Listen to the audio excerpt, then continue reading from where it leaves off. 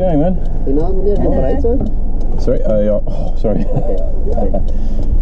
Kan bereid zijn? Done? Okay, may I please see your driver's license? Yeah, sure. Let me just switch off.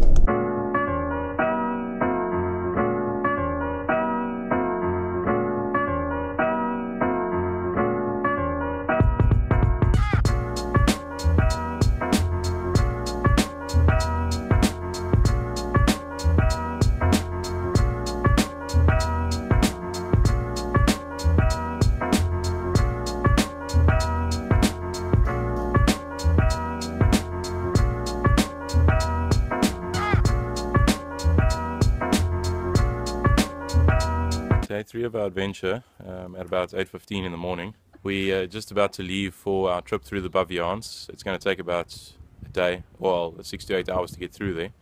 Um, the weather looks pretty good again. A little bit of wind this morning, but I think that might die down.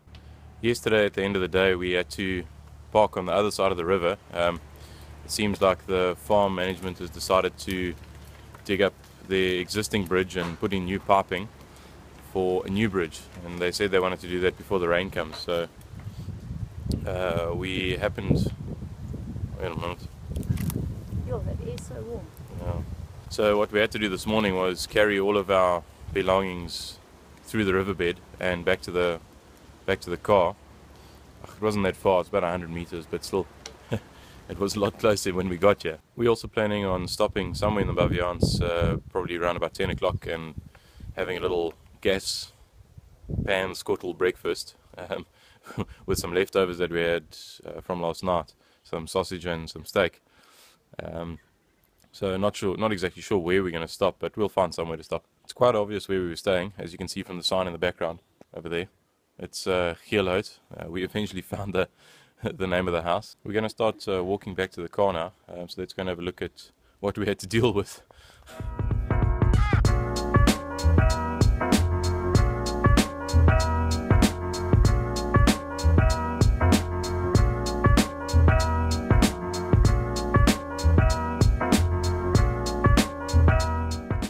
That's where we had to go to. Um, that's with the vehicle, and then we had to pass through this dry riverbed to get uh, all of our stuff back. It wasn't too bad, but you know, a little bit out of the ordinary, I suppose.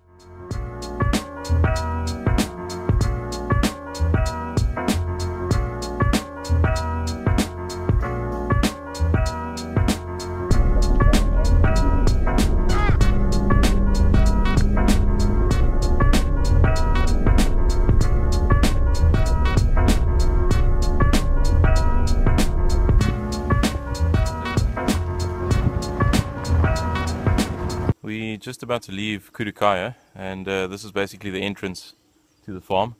Um, and yeah, we're gonna we're gonna go to the gate to the Baviaans. It's about four kilometers um, further, and we've got to buy a permit. And then once we've done that, we can enter and basically spend the day driving through the reserve. That should be should be quite fun. What we thought we heard baboons yesterday, and uh, you could hear it calling uh, very loudly. So there's definitely a lot of baboons, and that's probably why they've got a they've got a concrete or concrete baboon sitting on the on the sign. okay, cool. Let's get going.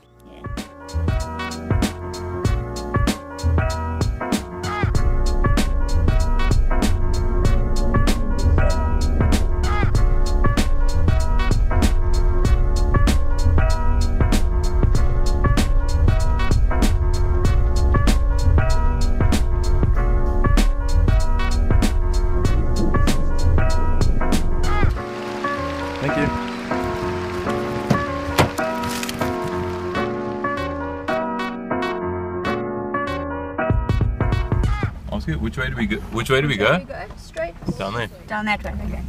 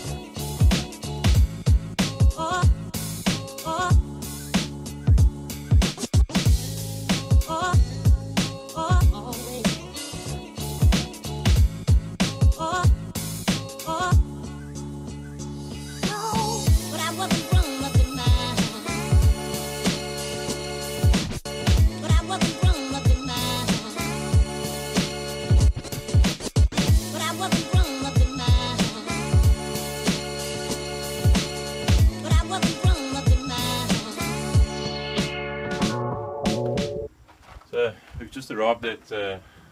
I'm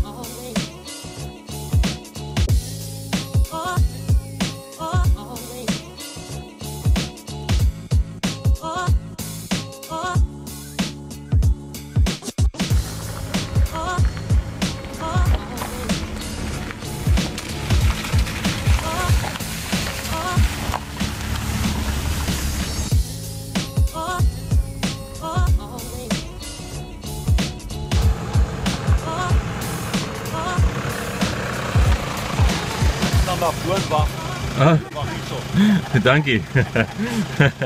Enjoy the rest of the, You too, eh? the, the trip. Yeah, we'll see you soon. Cheers. Thanks for stopping. No problem. Cheers. But I wasn't grown up in mind. So we just came across another couple um, driving in their bakkie. They're also doing the Baviaans tour, and they're doing it in the opposite direction to what we are. And we've kind of met about halfway, but it's quite quite funny. they stopped. Uh, uh, they stopped opposite us and uh, started speaking Afrikaans to us, and of course I tried to speak Afrikaans back to them. Um, funny thing is, we're both English, so once uh, once I realized I couldn't carry on, I actually told the told the guy I'm English, and he said, "Yeah, oh, sorry, he's English too. Can we rather speak? Can we rather speak English?" so, quite strange, but I assume in this part of the world that uh, there are quite a lot of Afrikaans people. yeah, actually, it's quite a nice little um, section that we're going through right now.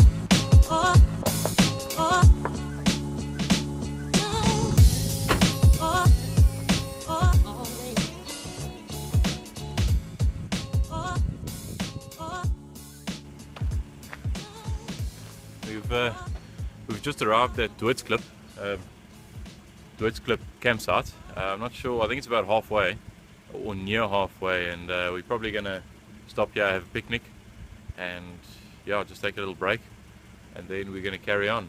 Um, we'll see how that goes.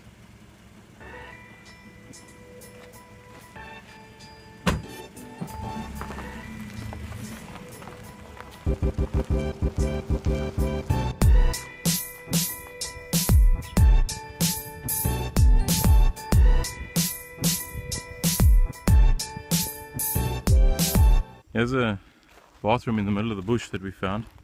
Um, it's actually quite a nice one. Have a look at that.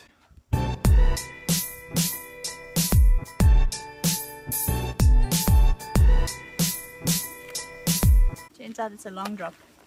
No flushing required.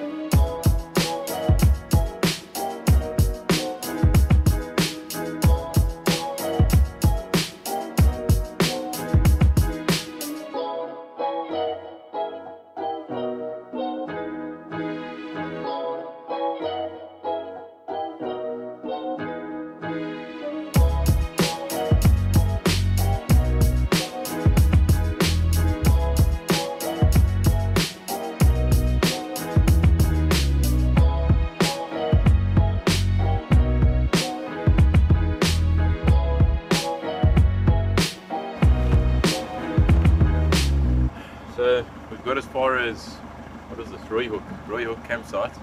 It's now one o'clock in the afternoon. Um, so we've been driving for about two and a half hours. We actually just went to go and have a look at the campsites at Rooihoek.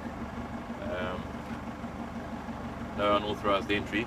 We just went in anyway because there wasn't a lock on the gate. um, and it looks quite nice. So there's no electricity or uh, like running running water as such. The only running water you've got is in the river.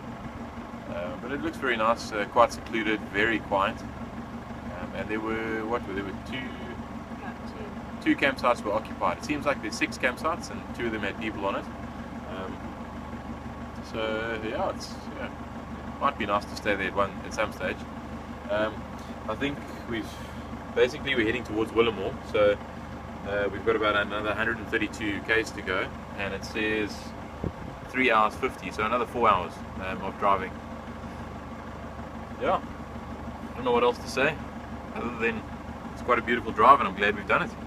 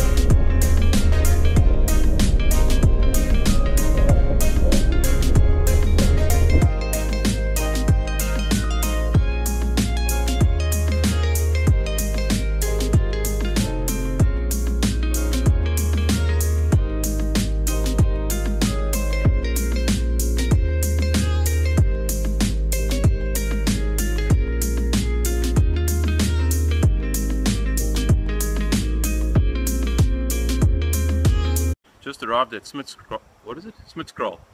Um, and it's now five to two in the afternoon. And uh, it looks like this is the place where we're going to stop and have some lunch. Uh, we'll do like a little pan fry sausage and and steak. Maybe spend about half an hour here, and then we'll get going again. Um, it's actually quite nice, nice and sheltered here. It's, you know, the wind, the wind I can see is blowing up on the mountains, but, but down here not really. Um, and we actually just went through another, uh, quite a nice long drift, um, which was I don't know, nice to clean the tires off. um, and the, we, we saw some baboons floating around, but I think they've run off, run off now. Um, and we also saw a, um, a kudu. Uh, it, was, it looked like a young bull, and then some duiker, which was yeah, it was nice. Um, and it looks like from here we've got another three hours and 20 minutes to to get to Willowmore. What's that? 100 and, 130 kilometers. Uh, so not too far. And yeah, we should. I reckon we'll get out by about five o'clock this afternoon. Well, at least out of the Baviaans, which is perfect. Okay, we'll chat to you after lunch.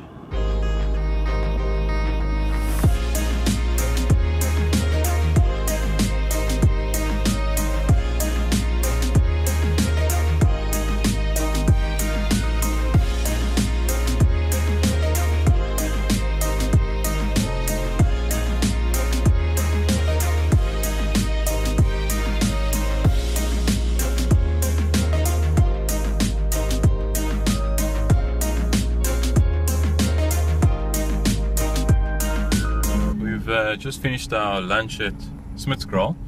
Um, it was a little half an hour stop, and uh, we kind of had to rush a little bit at the end because there was a baboon that was circling around us. Looked like it wanted to come steal our food. So uh, luckily we finished in time, and he didn't come steal our food. We left a half a sandwich there for him, so I'm sure he'll be happy about that. Oh, actually, maybe here he is. Yeah, in the center of the road.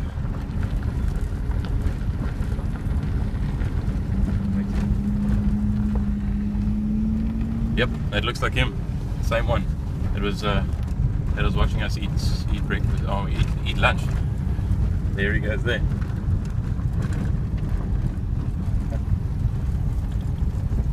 Cool. Okay, so uh, yeah, as I said, we've left we've left uh, Smitskraal now, and we've probably got another two and a half to three hours to drive. Um, I don't know, it was about another 130 kilometers, but uh, this section of road should be pretty good. Well, according to what I read on the internet, um, we've we've got through the worst section, and this is this is like just general gravel road. But we'll see what happens.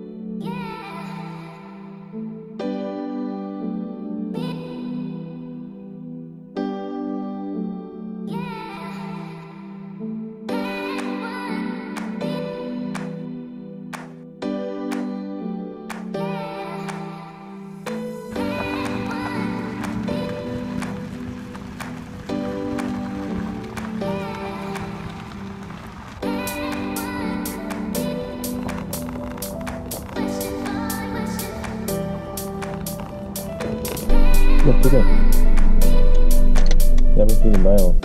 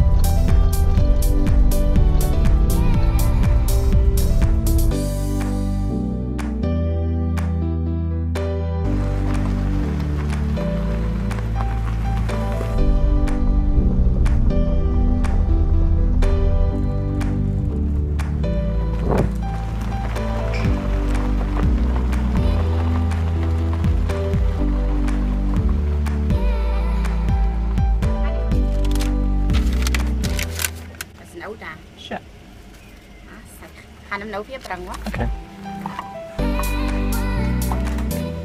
Baie dankie. Oh, thank you very much. Okay. Thank you. Bye. Thank you. Bye.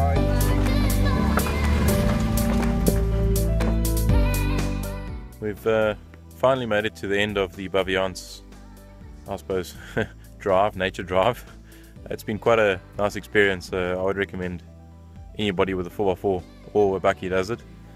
Well, if it's not, if it hasn't been raining, if it's been raining, yeah, probably not.